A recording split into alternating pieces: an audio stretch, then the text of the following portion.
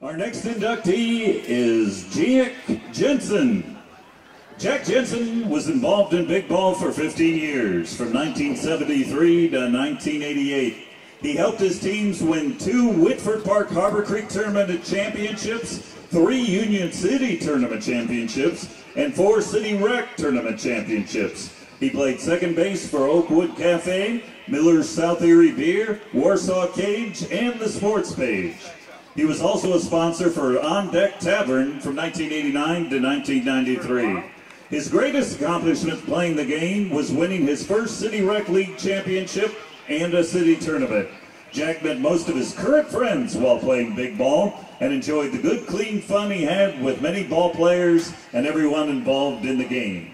And to present Jack Jenson into the 2010 Hall of Fame, once again, Dominic DiPaolo. Uh, the same thing I said about Jimmy goes for Jackie. I'll just change the name.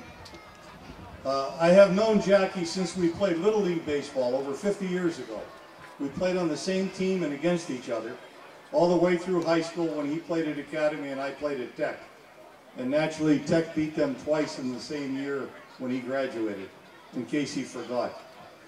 After graduation in 65, Jackie attended Thiel College and from 69 to 75, he played semi-pro football with the Erie Jets and the Erie Panthers, using his exceptional speed as a wide receiver. In 75, Jackie started playing slow pitch with the Cubby Hole, then went with the Oakwood, South Erie, and the Warsaw. And in 91, he was involved in a five-player deal uh, that came to the sports page, where he finished career in 1993 when we all retired. Jack's always, always played the infield at second base. He was a very solid ball player, both offensively and defensively. He was very good at placing the ball all over the field, and with his speed, he got on base a lot.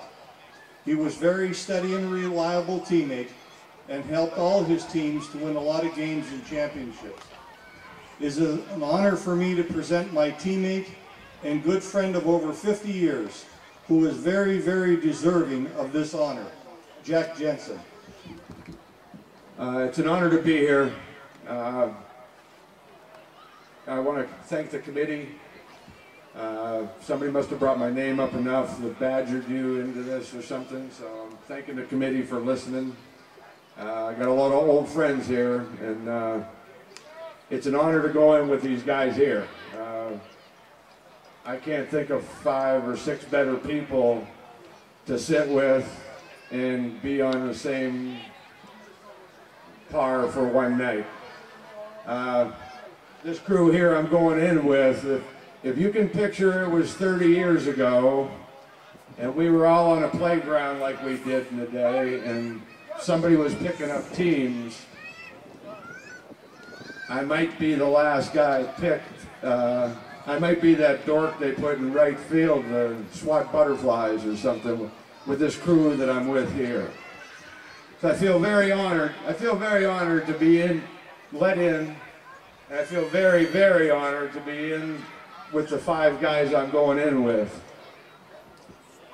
I want to thank Dom. Uh, ran a good program.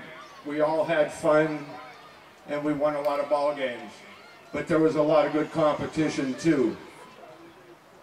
I'll feel better in four or five years. Uh, there's probably 50 or 60 guys that deserve this every bit as much as me. Uh, I appreciate the offer and I'm humbled to go in. And one last thing, uh, if I could have just hit my weight, I probably would have got in two years ago. Thank you very much.